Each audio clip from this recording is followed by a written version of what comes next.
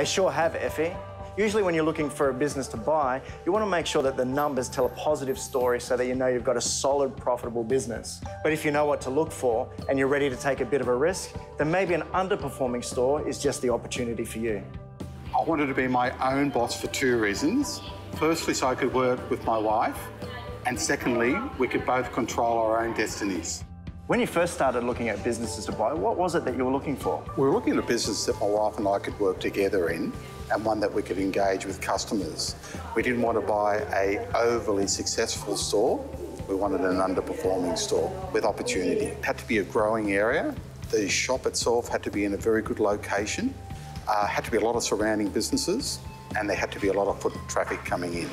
Is there a difference between an underperforming store versus a poorly performing store? With an underperforming store, what I put that as under benchmarks set, both by the franchisor and the Australian Taxation Office. Also, uh, poor customer service and poor product display. As opposed to a poor performing store, I took that at they were losing money. So what did you do to turn the business around? Staff culture, changing the staff culture to one of engaging with customers, making them more welcome. But also the store presentation wasn't very good. It didn't have enough cakes. We wanted a, lot more cakes, a lot more colour, because we're right at the front of the shopping centre. So when people walk past, it's like instant advertising and they can see what we have. What were some of the things that you, you really wanted to work on with your team? Well, what we wanted was suggestive selling, uh, as well as identifying a customer when they walked in by name and personalising it. And we set up a, a loyalty card system in shop where we kept their coffee orders, their names, so we got to know them.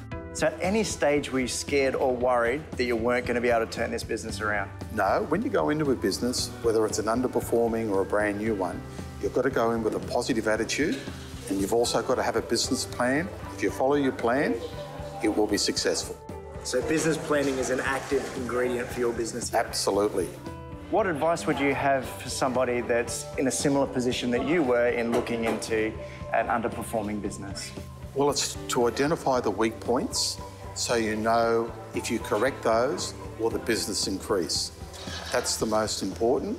And it's also getting a staff culture that is shared with yourself and the franchisor, and then the business will start to grow.